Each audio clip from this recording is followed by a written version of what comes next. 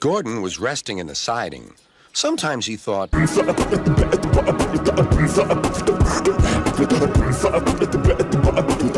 Either way, destiny's still around.